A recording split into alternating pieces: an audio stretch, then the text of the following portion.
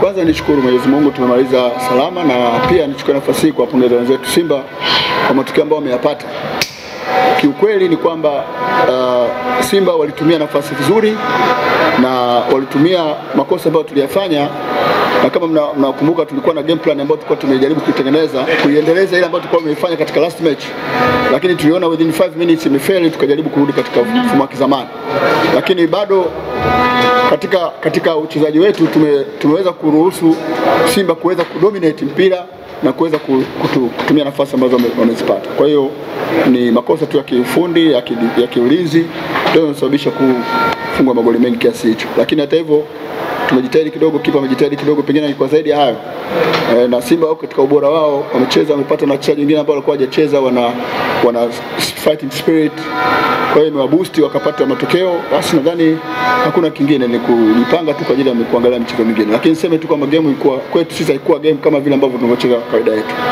Na game plan ambayo tulikuwa tumecheza karibuni mechi mbili zilizopita, lakini tuliona imefail kwa sababu tulikuwa tunawapa nafasi ya kuweza kudominate. Kwa hiyo tulikuwa tunafika late kwenye kufanya marking. Sasa na mtu ambaye anajua kukaa na mpira, ukichelewa ukichelewa kumpa harassment, matokeo yake anatumia vizuri zile nafasi ambazo zinakuwa zina zinakuwa created. Kwa hiyo sisi tumezitengeneza nafasi yani tumezizembea kuziziba nafasi ambazo zilikuwa zimetengenezwa. Tumekuwa na uzito kidogo katika kurekebisha pale ambapo kosa linajitokeza.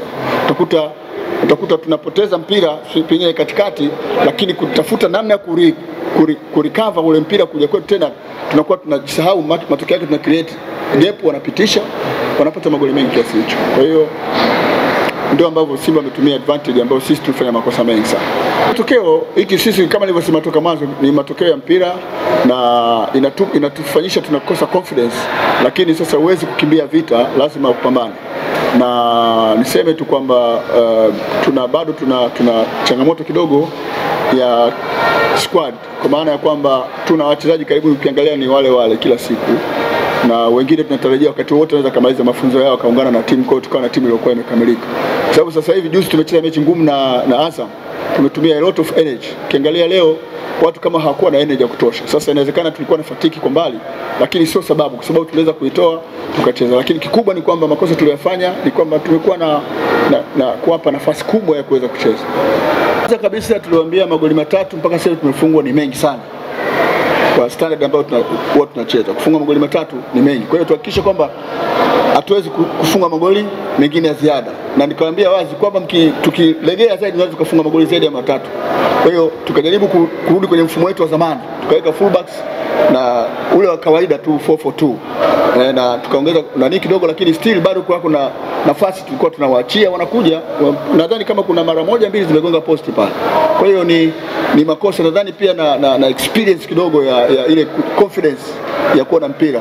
Wenzetu tofauti wakiwapata mpira wanakuwa na confidence, anakuwa na option ya watu wengi wana wanamsupport. Sasa sisi bado bado ule ile experience ya pamoja haijawapo haijatengenezwa.